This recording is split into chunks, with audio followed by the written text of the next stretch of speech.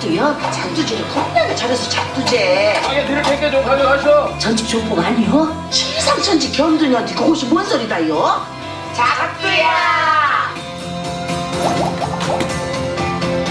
강렬하면서도 그런 이미지로 많이 거의 하시다가 이번에 아주 완전 180도 다른 면모로 변신을 하게 되셨는데 형사나 검사 캐릭터는 남자 배우들한테는 숙명인 것 같아요.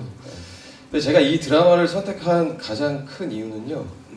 어, 이 오작도라는 캐릭터한테 어, 매력을 느꼈어요. 저는 사실은 그 대본을 보면서 어, 근래 보기 힘든 캐릭터라고 느꼈습니다.